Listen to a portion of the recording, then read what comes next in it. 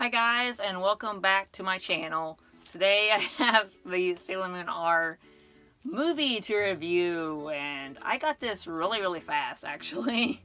I think it was a week before release I got this and I don't know I have a lot to say about it before I even open this thing.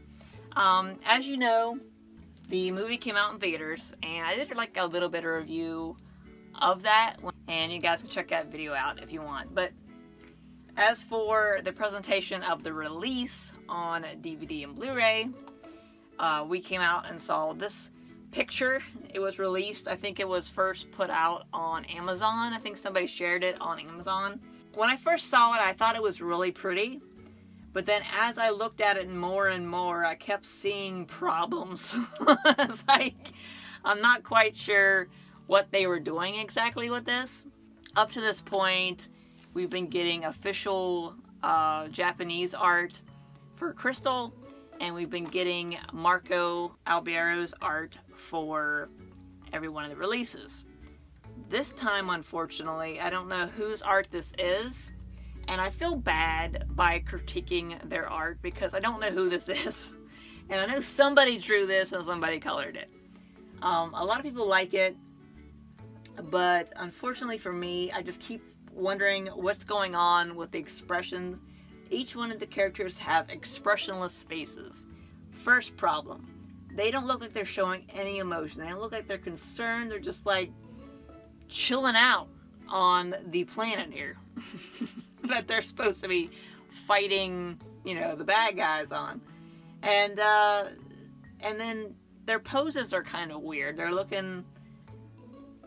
I, I don't know. I mean, can, I mean, can you just see what I'm talking about? I don't know what's going on and who designed this image. It's just, it's just weird to me. And then you have Fiore back there looking at Tuxedo Mask. It doesn't seem like he's too concerned with life or nothing right now. And they got the crystal just kind of hovering up there at the top. And uh, it makes no sense. I mean, the whole thing doesn't make any sense. I know they tried to get the same design around the crystal that's on the official movie art, but if they were going to do that, they should have just gave us the official movie art. My thoughts, anyways. Because if you look at the Japanese official movie art, they're all in battle poses. They're all ready to fight. Here they're just chilling out.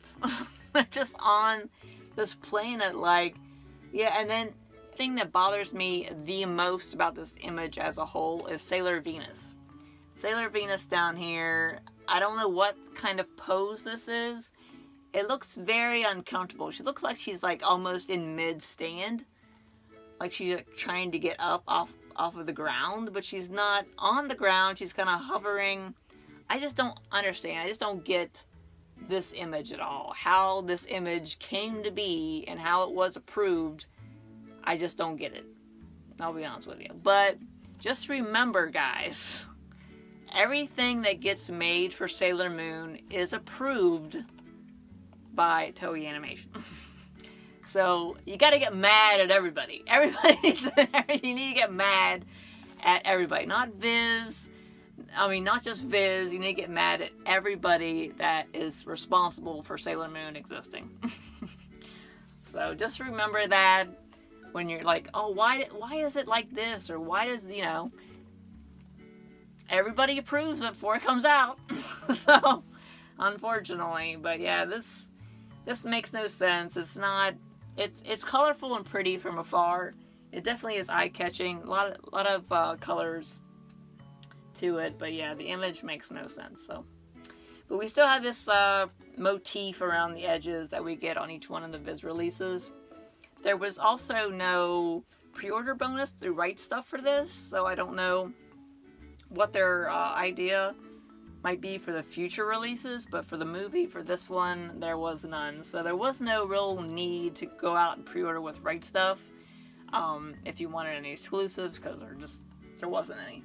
Now, I wasn't going to get mine through RightStuf, but I decided to get it because I bought this from somebody off of eBay, and this is the pre-order card that they gave out during the LA premiere. Somebody sold it and they finally lowered it enough. They might be watching, hey, it was me. Because it was the only one I'd ever seen for sale. That was the only one. I don't know if there's any now. I haven't looked, so. Um, but they finally lowered it a little bit and made it a little bit more affordable because this actually had the code to pre-order the movie already paid for on the back. And this is what the back looks like. I'm covering up the code just because. I, it's already been redeemed, obviously, but I'm just going to do it anyways. But that is the back of the card, and where my finger is, obviously, is where the code is.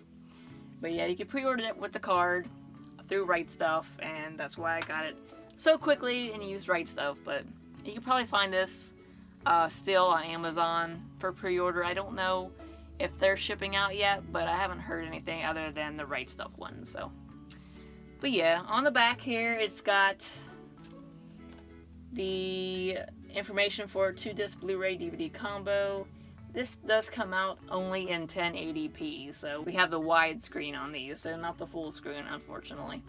Um, there's the English and Japanese stereo audio, English subtitles, the makeup, Sailor Guardians featurette, which I'd never fully seen before until I watched the movie in theater, so that was kind of a treat. Um, the cast interview, and I think the cast interview is the same one that they showed in the theaters if you watch the dub, and the LA premiere, Q&A, and more. So, I don't know. The special features are not spectacular, I guess. I think the cover looks better being squished because the DVD one, it has the logo up a little higher and you can kind of see more of this image. Just cover up more of it. But anyways, we'll uh, open this up and we'll take a closer look at the inside. So here's a nice close-up look before I take it out of the packaging of the cover. I'm sure most people have seen this that's interested in it. But yeah, not not really a fan of it too much, but we'll get this opened. And I try to take my time opening these. That way I can preserve the little sticker. So I can put it on back on, back on the box. There we go. Alright, so it is pretty with the little prismatic motifs on there as usual. I do always like them. Take it out of here. And there's that cover again on the inside. Just not big fan of that. I mean, I don't know. I feel bad for the artists. I, I, I, apologize to the artists for being so negative about it, but it, it does bother me just a tiny little bit. And then here on the back, is the same. Oh, so this is the this is the DVD here, and then this is the Blu-ray. And there's nothing in the back on there, so I don't know if they're supposed to be or not, but usually they always have something back here, so. It's a pretty simple release, I'd say. Nothing too spectacular to see. Another little thing that I got with this movie is the Sailor Moon Crystal Part 2 ad here. And this is a sticker, which I thought was pretty cool. Usually they do just basic little cardboard cards, but this is an actual pretty little sticker. And I mentioned in my Sailor Moon Crystal Part 2 review that I was going to share something related to this image, and this is what it was. It's just a little ad sticker. It's really pretty. It does have Order Now for the Black Moon arc, episodes 15 through 26. Really nice. But we'll pop in the discs and take a better look at the menus.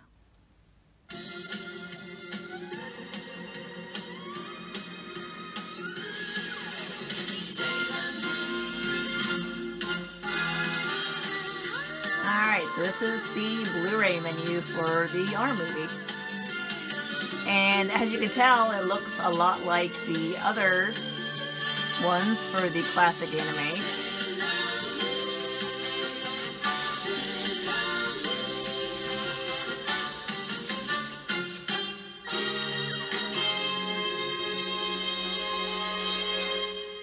You got play, scene, setup, and extras at the bottom. Got the cutie moon rod as your little cursor. And the crystal star is at the bottom, so looks pretty nice. Here is the scenes. Oh, and this one's set up so you can just look at the scenes and go to the one you want.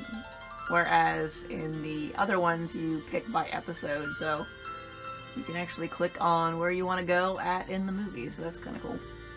And then you have setup. And there's your setup for English and Japanese. And then you have extras. And there's where you go for your Makeup Sailor Guardians featurette. The theatrical intro with the English cast, which was what we saw at the movie theater. 2017 Los Angeles premiere, gallery trailer, and more trailers from Viz. So yeah, that is your menu for the film. Now I'll pop in the DVD one and we'll take a look at it next. So here is your DVD menu and there's that Sailor Moon from the cover. but uh, at least it's not the whole thing, I guess. But yeah, that's the Sailor Moon from the cover there. And then you got play, scenes, go to scenes. So yeah, here's how you select your scene from the movie. So that's kind of interesting. And you got the Moon Rod over there. And then setup. Kind of reminds me of the other DVDs. The Crystal Star there. And then you have your extras. Let's go to extras. Ooh. And there's that image of the uh, crystal there.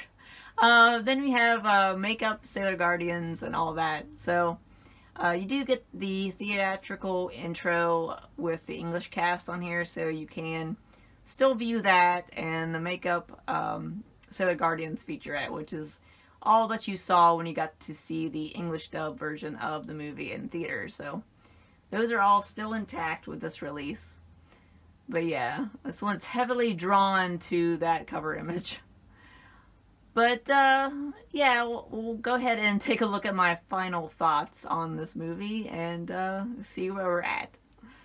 So, what is my overall thoughts on this release? Um, I don't like the picture on the front. It's not Marco's work. I don't know whose work it is.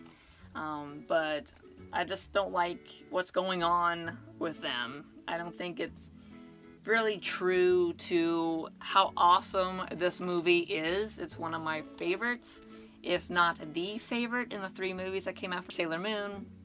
But it is what it is, I'm afraid, so... Oh, I forgot to tell you too, on the side here, there is the little crystal star up there. And the little motif that's on the discs are on the side. But yeah. Um, I loved the movie presentation. I thought it looked really good. Um, they definitely made the movie look newer. I, I love how it looks, and I can't wait to rewatch it again, and that's what the benefit is of owning it, so... Um, it's not all about the cover, it's mainly about the product itself, so...